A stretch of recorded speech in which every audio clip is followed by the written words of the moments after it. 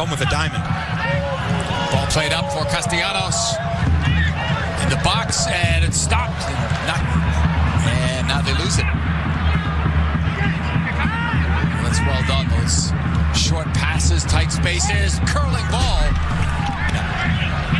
to Warrenson. Holding there, big left foot. Trying to find an open man in front. Off Glesnes.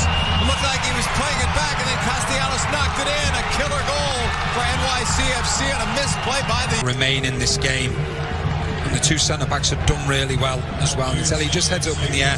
Glesnes, he gets caught in between two minds. He thinks that he can chest it back. Uh, Castellanos, he had a simple tap and he made it look more extravagant than he needed to be, but he's in a position to be able to do that. He's taken the gamble. And Glesnes is going to go back to the goalkeeper, and it's exactly what, he, what he's done. But he'd be really disappointed because Glesnes has been. That one's blocked. NYCFC still recover. Shot taken, stoppage time, and they'll play no more. That'll do it tonight. 90 minutes in the book.